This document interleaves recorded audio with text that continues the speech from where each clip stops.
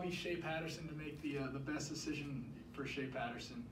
Uh, but at the end of the day, Shea knows just as much as you know I do how great this university is, and uh, to any. uh, I, would say to any recruit or any potential guy that you know sees maybe what happened in the Ohio State game uh, and is, is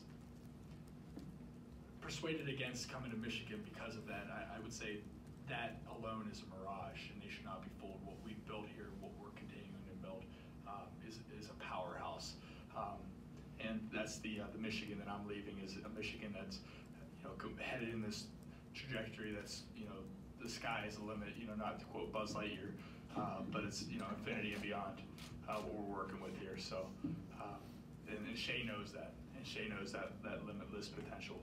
Um, so he can deal with that uh, how he pleases.